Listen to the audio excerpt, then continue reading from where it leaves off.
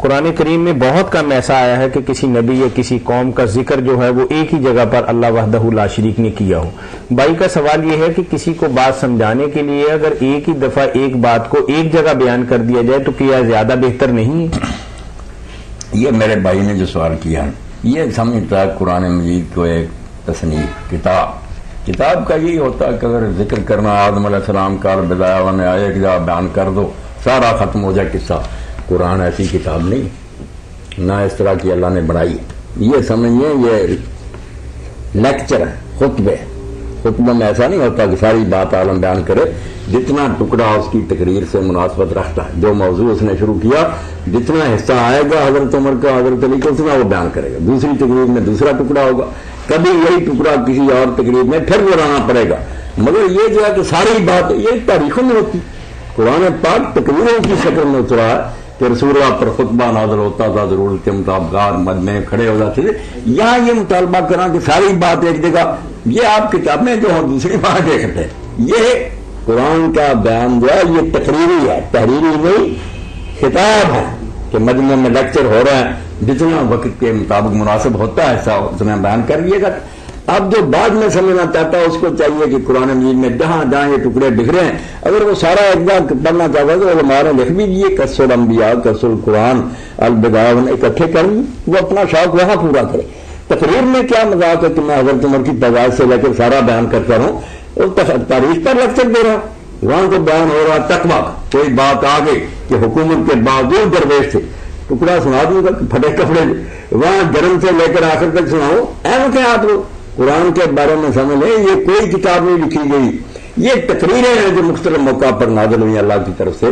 जैसे हालात तहरीक इस्लामी के थे, कोई मुखालफत कर रहे हैं, कोई साथी घबरा रहे हैं ज़रूरत के मुताबिक उतर उतना टुकड़ा किसी नबी का बयान कर दिया। ये बात जहन में रहे तो कभी सवाल नहीं पैदा होता कि बार बार क्यों दोहराई गई बात?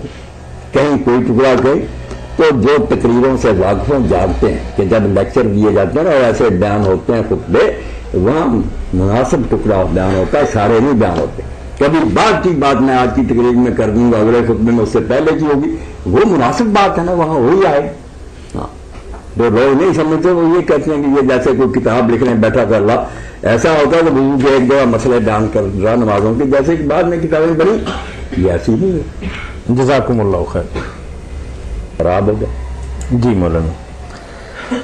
कुरान करीम ही के हवाले से एक और सवाल है कि भाई का सवाल पूरा पढ़ता हूँ फिर बात वाजह हो जाएगी।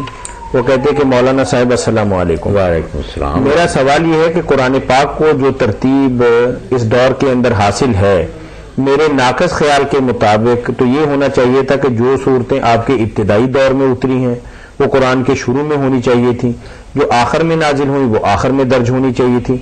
मगर कुरान करीम की तरतीब बकौल उनके बिल्कुल बरक्स है। क्या ये अल्लाह ताला के हुक्म के एन मुताबिक है? या नबी करीम सल्लल्लाहु अलैहि वसल्लम की राय से ऐसा किया गया है और ये तरतीब रखी गई है और इसमें कोई खास हिकमत है? वजाहत फरमा दें जो कुरान मजीद की मौजूदा तरतीब है, ये किसी ने बाद में नहीं दी। ना किसी साहबी का इसमें कोई दखला, ये खुद अल्लाह के रसूल ने यह तरतीब दी है। आपकी भी अपनी मर्ज़ी, इसमें शामिल नहीं। जबरील अमीन सलाम उसी वक्त बता देते थे कि यह फरां सूरत में रखने। कभी तो मुकम्मल ही सूरत होती थी, कभी टुकड़े होते तो बता दिया जाता था फरां आयत के साथ इसको। बिल्कुल जैसे अल्लाह ताला ने ये जिम्मा लिया था इन ना जमा हुआ कुरान। आप फ़िक्र मांगना और रसूल के याद करने की कोशिश करते हैं, बोलने नहीं देंगे। हमारा जिम्मा है कि हम इसको इकट्ठा करवाएँ और इसको पढ़वा दें। पैदा करा ना फतबे कुरान। जब पढ़वा देंगे तो पीछे पीछे फिर आप उसी तरह पढ़ें। इसलिए हर रमज़ान शरीफ में बिल्कुल तरतीब के साथ जो अल्लाह ने दे दी होती थी, जबरील सलाम आते थे, वो पढ़कर सारा सुनाते थे। फिर हजूर भी दोहराते थे, इसको अर्ज़ कहते हैं, पेश करते थे एक दूसरे पर। और आखिरी साल जब इतला दे दी गई कि आपका आखिरी रमज़ान है, दो मरतबा। उन्होंने भी पूरा दोहराया, हजूर ने भी पूरा दोहराया, इसलिए ये तरतीब वही के मुताबिक। और ये वही कुरान है जो लोहे महफूज में था, जिस तरह अल्लाह के पास था लिखा हुआ, ये है बाकी जो टुकड़े उतरते रहे ज़रूरत के मुताबिक, वो मैंने बयान कर दी। कि यहाँ जिहाद में कुछ लोग जो है, वो भाग गए। वहाँ ज़रूरत पड़ी, वो टुकड़ा उतरा। अब किताब जब बनी थी, वही तरतीब, ये बच्चे मेरे खुतबे मरतब कर रहे पाबंद किया था कि जिस डेट के हिसाब से मैंने खुतबे दिए उस तरह लिखो। ये कहे मौलाना पागल है वो तो ज़रूर के मुताबिक आपने खुतबे दिए अब हम किताब बना रहे हैं, अब तोहीद के एकदा करेंगे, दूसरे रिसाल की, बिल्कुल अकल की बात। तो जो कहते हैं, उसी जरा रखते अकल के अंदर वो नहीं बात ठीक। जब क्या तक ये किताब बननी थी, डेट देखने की ज़रूरत नहीं। कि कब उस रकम फिर तरतीब और तरतीब ऐसी है कि आम लोग जो ना, चूँकि इलम नहीं रखते, वो परेशान होते हैं कि ये आते हैं कि पहले के अगर समझ जाए, और कम अज कम मौलाना इसराई साहब की जबर कुरान पढ़े, उनके उस्ताद पर अल्लाह ने यह राज खोला कि ये क्यों है कि सात हिस्से हैं कुरान की, और हर हिस्सा मक्की सूरत से शुरू होता है। पहले मक्की में जो शुरू हो, जैसे सूरा फातह, आगे चारों सूरतें जो मदनी। ये एक चैप्टर फिर दूसरा शुरू होता सूरा नाम आराफ, मक्की। है आगे अनफाल, तोबा, मदनी। दूसरा चैप्टर खत्म हो और हर चैप्टर जो है, इशारा कर रहा हूँ और मेरी बेअंदाजा दुआ है, मौलाना हमीदुद्दीन के लिए, कि ये खजाना जो है, ये अल्लाह ने उनके लिए दरवाज़ा खोला। वरना और माँ यही समझते थे कि यूँ ही आपने कर दिया। क्या सात अलग अलग ग्रुप है? मक्की से शुरू होते हैं, वो मजमून चलता जाता मदनियों पर वो खत्म होता। और ऐसा है कि हर जगह एक मजमून गालब है। बाकी भी आते हैं ज़मीन। मगर किसी हिस्से में सिर्फ़ तोहहीद पर ज़ोर है बाकी उसके साथ जिमन आ गई कहीं रिसारत साबित की जा रही कि रसूल आए, लोगों ने मुखालफत की, क्या अंजाम हुआ?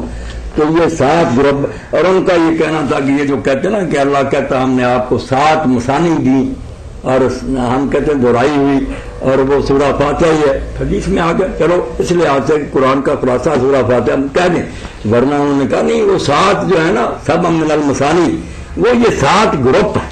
कुरान में सात ग्रुप उसी को कुरान अजीम का कि सात ग्रुप आपको दिया है जो कुरान अजीम है। और मसानी क्या? वो कहते हैं आप कहते हैं दोहराई हुई। वो कहते हैं किस अरबी में दोहराई हुई? ज़्यादा और माँ यही कहते हैं हम भी यही मानते आए ना कि मसला का मैंने बुराई वो कहते कब है बुराई वो मसलियन होता है शब्द से। मसलियन ये मसला है। दो दो जोड़ा जोड़ा जोड़ा तो कहते हैं जोड़ा जोड़ा इसलिए है कि एक सूरत में एक हिस्सा, दूसरी सूरत उसको मुकम्मल कर जो है ना, जोड़े। बकरा में बात शुरू हुई अरे फलाम मीम, उसका नाम रखा। ये भी उन्होंने कहा कि जो लोग कहते हैं मुकत्ताब को राज है। वो कहते हैं, क्या राज है? अल्लाह ताला ऐसी बात उतारता जो पता ही नहीं। हत्या के लोग कहते हैं, हजूर को भी नहीं पता था अल्लाह था कुछ कहते नहीं, हजूर को पता था हाँ वो कहते हैं, लोग चीख रहा उसने मुसलमान भी काफर, कि क्या कलाम है जिसको कोई भी नहीं समझता? तू पागल है, दीवाना? तो कुछ नहीं थी बात सूरतों के नाम थे। जैसे और तरीका, नाम रखने का। हमारे यहाँ भी लोग जानते हैं कि एक पहाड़ है जिसका नाम काफ है। अब काफ रखा हुआ उसका नाम। क्या? नाम है पहाड़ का और माँ क्या? हम कहते हैं, ये सूरत कौन सी है? यासीन। ये क्या है? नाम देते हजूर ने कहा यासीन पढ़ो। नाम है मेघ रख लिया, इसको घोड़ा कह दिया, इसकी और क्या कही इसीलिए कहते हैं, जहाँ ये शुरू शुरू होती है शुरू में, जैसे सबक का ऊपर अनुमान होता है कि कायद आज़म, या पाकिस्तान। बात शुरू होने से पहले अल्लाह कहता, हाजिर अलिफ्लामी कि ये सूरत अलिफ्लामीन शुरू हो रही नाम ले दिया उसका। हम बोलते नहीं सारे बच्चे बैठे, कि ये पर्चा अलिफ है। ये पर्चा बे अब अरब बे के और क्या करना है? पर्चे का नाम है, पहला अरब है।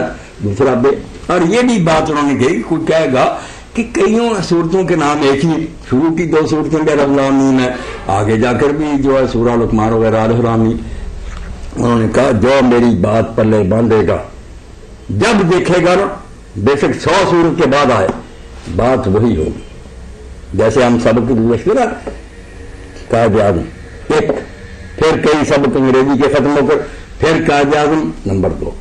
अरे फलाम जो होगी, एक ही बात चलेगी बेलफराम राह होगी, बड़ी बातें उन पर अल्लाह ने खोली, मगर अफसोस है कि लोग दुश्मनी में अंधे हो जाते हैं घाम नहीं पड़ते फिराई क्या कर रहा? पढ़ो। और मैंने कई बरेली आलमों से सुना जिन्होंने पढ़ी कि अब किसी का सिक्का नहीं दुनिया में चलेगा सिवाय सिलाई के। मौजूदी भी रह गया और सारे कुरान की कुंजी इसको हाथ आई। कि ये सात ग्रुप किस तरह है? मदनी, मक्की से मदनी। उन्होंने ये भी कहा कि जो लिख देते ना, दरमियान में कि ये मक्की आ गई फिर मदनी। वो कहते बनावटी बातें ये आपने खुद करी है, कहा अल्लाह रसूल ने लिखा मक्की, मदनी? जो गुर बताया मैंने कि मक्की से शुरू होगा, आखिर उस ग्रुप का मदनी पर होगा। वो मदनी सूरतें होंगी, और उस ग्रुप में एक ही बात ना आगे से आगे बढ़ती है। बड़ी बात। मसला उन्होंने कहा, डबल को कहते हैं दोहरा इसलिए एक जो है ना, सूरत और दूसरी सूरत का दूसरा हिस्सा है। उसको मुकम्मल कर दिया। ये बात कुरान मजीद के बारे में आपके सामने बयान की। कुरान की अजमत का पता चलता कि ये रसूल ने अल्लाह के इशारे से किस तरह इसको इकट्ठा की जी।